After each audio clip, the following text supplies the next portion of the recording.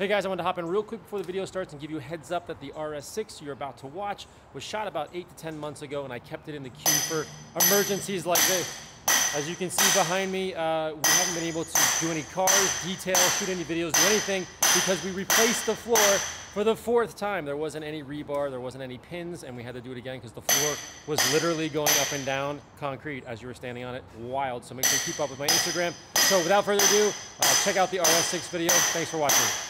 Well guys, it's here, the all new 2021 RS6 Avant absolutely stunning car. I've received the most text, tweets, Instagram, everything you can imagine about this car in particular, so everyone's super pumped. What we're gonna do today, of course, is to wash it.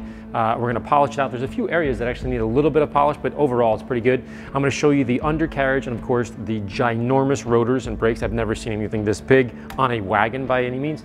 Here's an example. This is, this is a hubcap off a Tesla, which we're working on over there, uh, 18 inch. Just to give you a little perspective, I mean, come on, have you ever seen anything like that? It's insane. Also, this car was picked up and purchased in, I think, Delaware, Wilmington, Delaware, and driven all the way up to Connecticut on 95. The owner put track wrap everywhere on the front of the car, so uh, there wouldn't be any rock chips. So once I'm done with all the process here, we're gonna be putting a clear bra on the outside and the inside. Yes, you heard me, the inside. Uh, so make sure you stay tuned for that. And afterwards, we're gonna put a coating on it and of course, deliver it back to the customer. So we have a lot to do, but he did give me permission to put the wheels back on. We were changing them from the stock 22s, meaning what he normally drove on to his winter tires, which are 21s. Again, also insane. We're gonna put the 21s on here for the winter because it's pretty cold. And he allowed me to go out and uh, take it for a drive and uh, tell you guys what I think about it. But we're gonna bring it back in. We have a lot of work to do, so let's do it.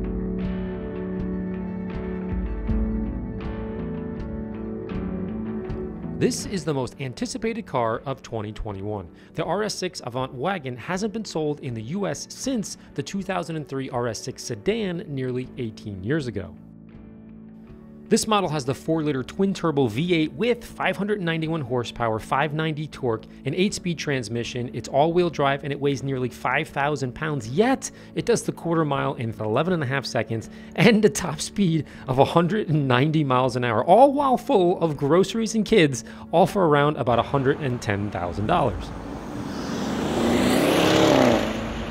This customer purchased the car in Delaware and drove it straight back to the studio for some paint correction, clear bra, and a coating. But first, she needs a quick bath, and I'm starting with the wheels, which are 22 inch forged aluminum with 17.3 inch carbon rotors and 10 piston calipers on front, 14.7 in the rear. These are the same ones that are on the Lamborghini Urus, so why not start here?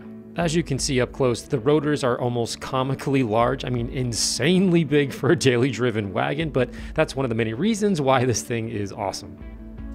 Next, I filled the wheel bucket with wheel soap, pre-rinsed the 22s on the holder, and then cleaned the light road grime and clayed them so a coating could be applied to them later.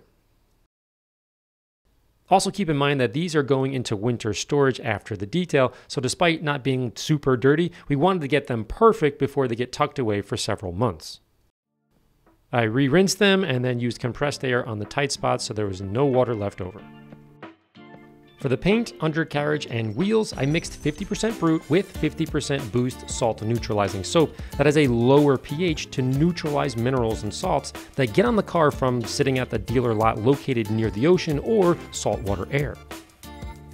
With the wheels now clean and dry, we then sprayed the wheel wells with water and our mixture from the foam gun on both the front and the back of the brake and suspension components to remove any possible salt residue per the request of the customer, as the car will no longer live by the ocean, so he wanted to start out his new ownership fresh and clean.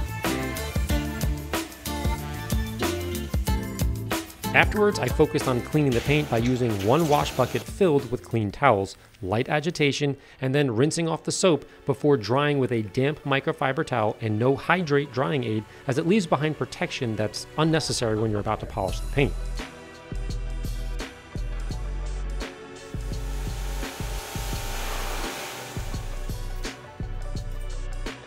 Then I used compressed air and wiped down the door jambs. Next up, I focused on the paint correction. Okay, at this point, we've washed and dried the paint and it looks pretty good. Now, if you remember two years ago, we did three GT3s at once and the paint had a bunch of issues in different areas. This particular paint is much better than the Porsches were way back then, but there are a few issues. We have some on the mirror, the lower area here, the back panel, uh, one on the front, and specifically this one here, which is kind of interesting to me. And the reason I think this one exists is when the owner picked it up from De in Delaware and drove it up here, there was track wrap. And he did that, you know, from a smart perspective. He just didn't want to get any rock chip. Totally makes sense. But if it's not perfectly flat, meaning it's not all the way down and wrapped around the edge, a little bit will peel up, right? And maybe, let's say 50 miles in, and it'll catch all the dirt as it's driving. Then it'll start to flap and, and, and sort of scratch the paint, which I think happened here uh, and on the other side as well. So it's consistently scratched. And it's easy enough to get out. What I'm gonna be using here is the medium wool polishing pad on the three inch uh, Rupes along with the DA uh, fine polishing compound. Now the reason I'm using this is kind of interesting. People would think wool, okay, wool is a little bit stronger. It's actually the opposite. Uh, this doesn't generate as much heat as let's say microfiber in this case. Uh, and why that's important is we have a brand new car here, fresh paint. Um, maybe there's some uh, expanding and contracting and things that are gonna happen that we normally do when we polish paint. I don't really wanna do that on brand new paint. So in this case, this particular type of uh, wool pad is going to generate less heat than microfiber. So that was my uh, thought behind why I chose doing it on this particular uh, area here. Again, it feels a bit crazy to polish a brand new car, but at this point, its age is somewhat irrelevant. This paint is scratched and it's not perfect. The owner paid a lot of money to have a perfect car and it's not. Plus, we're putting a clear bra on, so a correction must take place right now. Now, last week, someone left a comment in the Monza video saying something about how it was totally insane that a brand new $2 million car needed a paint correction, and I completely agree. In theory, it should be perfect the day that you get it, but in reality, think about how many hands touch it before it gets to you, meaning during the shipping, during the unwrapping, the PPI, the dealership wash, and so on. This is all before the owner takes possession. So yes, you're right. If it was all done perfectly, then polishing would be completely unnecessary, but that is simply not the case as you can see here.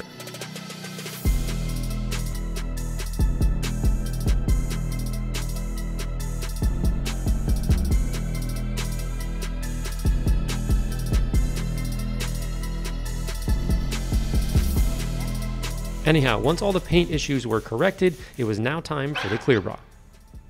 For the first step, once again, we clean it to remove just any light dust before we put it on. Then we laid the PPF down and used hot water to make the material a little bit more pliable, a little more stretchy, so that we can work with it easier before squeegeeing it into place.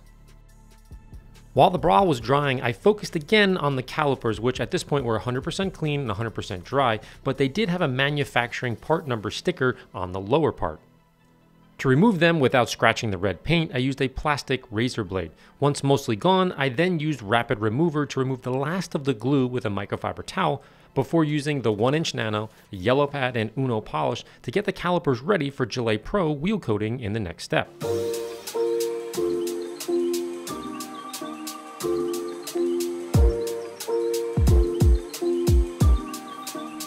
With the coating now on all the calipers, I then repeated the same steps on the second set of wheels as well, the original 22 inch and of course the new BBS winter rims that had a matte finish. If you have the opportunity to take your wheels off while you're cleaning them, you can place one to two coats of Gelee on the inner barrels as well. This will make future cleaning of the hard spots, meaning behind the spoke when the wheel is on the car, much easier in the future.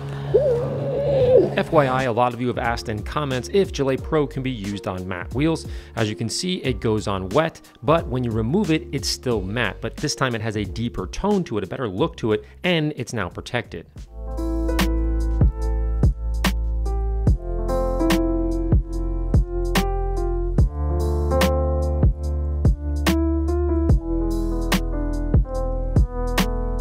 Next, I applied Reflex Pro to the paint and the broad areas. As you can see as I'm applying the Reflex Pro, there are a few small pieces of yellow masking tape. Now these are just reminders for me to check the PPF for bubbles or small imperfections or whatever it needs to be done before it's released to the customer. This is just a, a way to help me remember to remember. Once I was all done, I installed the winter wheels and the rubber on this daily driven all-wheel drive beast and lowered it down just a little bit so that I could torque the wheels without them spinning. Finally, because of all the interior screens, I decided to surprise the owner with PPF over the many touchscreens on the center console. To do this, first we cleaned the screen, then cut PPF to size and applied it with application gel. On the lower screen, we repeated the same template technique as we did on the above screen, but because uh, this was last minute, we didn't have any time to order pre-cut kits, so we did this uh, on the fly. This particular film is antimicrobial and designed for touchscreens. With our makeshift template on the table, we pulled the film over it, measured, and cut the appropriate size. Once again, we cleaned it, applied the gel, placed the film, and squeegeed it into place. As you can see, the screens are now protected, but it has the exact same sensitivity to touch as it did before. Now, if this car wasn't cool enough as it is, check out the headlights and how they go off. I love the small touches on this car. The next day, after the bra and the reflex were all dry, it was now time to go for a ride, but this time I won't play any music over the startup.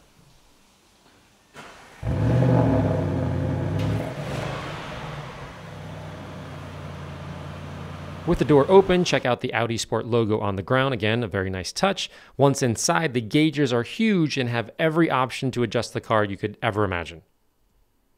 And with the inside and the outside protected, the RS6 looks absolutely gorgeous. But now it's time to go for a drive per the customer's demand. He said, I have to go for a drive as soon as I finish. He was on his way to pick it up as well. Super cool guy. Here we go. Wow, it smells really nice in here too. You know what I need though? My sunglasses. Basically supercar territory in terms of the numbers, but you have it in a wagon. That's that dichotomy is what's making my brain go nuts, and you can kind of just go, put my blinker on, step on the gas. Holy, yeah, it's non-stop waving. So that's one of the things you got to be careful about when you're driving a.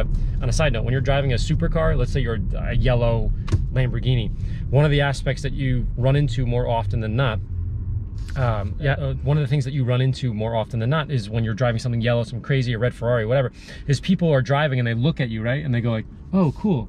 And then look at my hands. My hands kind of turn, meaning wherever your head is going, right? Just like any race car driver, you, you turn into that. So one of the big, uh, I wouldn't call it an issue, but something you need to be focused on is when you're driving something that's this important and this exciting, uh, and people are really buzzed about it, they tend to lean into you, turn into you, like this woman right here, who's really going uh, a little bit crazy. Thank you. Um, but at the same time, she's swerving all over the road. So I'm gonna take the camera and turn it around and she's looking in the mirror right now. See, she's driving in the mirror. Can you see that in her thing? Look, she's waving up and down. Here she is right now with her hand out the window. See, she's waving. Do you see she's waving right there with her hand? That Mercedes.